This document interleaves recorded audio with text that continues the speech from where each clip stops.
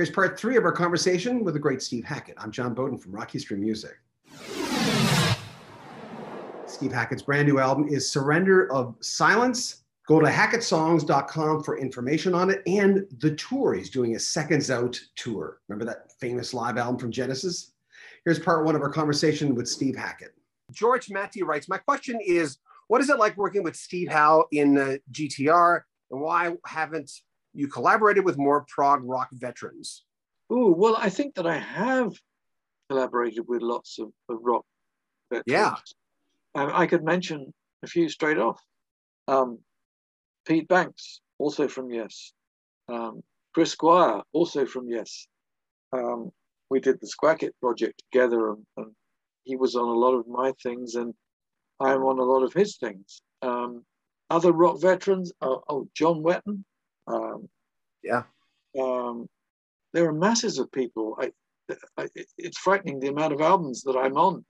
Uh, Steven Wilson, oh my god uh, I, am not even thinking of, of you know people like um, um, uh, richie havens um, but there, there, there, are so many and, and there are live albums too of, of things that i've done with other people um, paul gilbert uh, nuno bettencourt gary cherone um, john paul jones um, um yeah. I'm, I'm, I'm not sure who he's, he's listening to.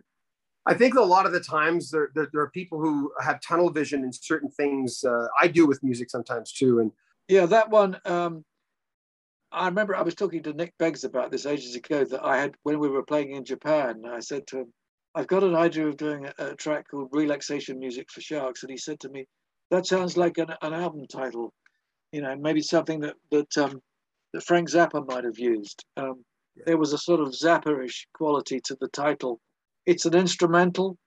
Um, it's as if the predator circles um, by stealth, and then that dark shape comes out of the water and goes in for the feeding feeding frenzy. It, it starts very quietly, very spooky, influence of all sorts of things. There's some harmonica in there, um, orchestral instruments. Um, little bit of influence of Bernard Herrmann, working with Hitchcock. Um, ooh, uh, we develop it orchestrally, and then the rock band kicks in uh, with Nick D'Virgilio on on drums and um, uh, Jonas Reingold on on bass. Um, and then it and then it really gets going, and and, and the playing is is is fast and furious. Uh, it's a guitar workout for me and then it subsides and floats off at the end and it goes off into a kind of um, the sound of aqualungs and bubbles and mm-hmm. oxygen emanating through water. Wing Beats featuring, well, Durga, I know from Pink Floyd.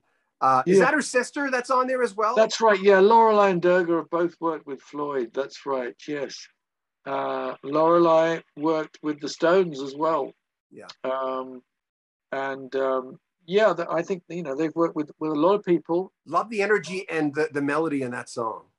Well, thank Love you. It. Yeah, Wing Beats is really our visit to Ethiopia put to put to um, put to song. Um, lots of singers, um, uh, mainly girls, um, and uh, a great job done by by by Roger pulling all of those strands together because there are a lot of different things going on um, wing beats. Yeah, something about that, the beating of wings and the beating of those drums, which um, is something that, that Roger put together. Fantastic rhythm section on that one from Roger. There's there is no bass as we know it, but there there fundamental notes underpinning it. The the Devil's Cathedral. Uh, I felt like I was in a mad scientist. Uh, it had and Nads on there, which I love. Uh, yep. Beautiful, perfect. Like a, a, little zany, a little lots of energy. Tell yeah. me about that one. One day when we were recording Rob Townsend, uh, Roger King, and and Rob, they were they were playing together, and and um, Roger sounded like a cathedral organist, and Rob sounded like like Miles Davis, and you had the sort of sacred and profane aspects. You know, this kind of sacred sounding thing, and with the influence of Messiaen, who wrote um, demonic stuff for for for, for uh, cathedral organ, um, church, or, church organs, pipe organs, and um, they were doing this scale, which was octatonics, um, and um, I couldn't work out the scale at all. And I said, that sounds really out there. We've just got to use that at some point. So maybe three years later, we actually turned it into something and used it as an introduction for this uh, for this piece. Um, and it was a story of someone taking over an, another person's life. Um, and I originally I sang the vocal on this, and I, I sent it off to Nad. I said, I think you would sound more sinister than me um, mm. on this. How do you feel like doing it? I said, it's it's kind of in a Genesis style.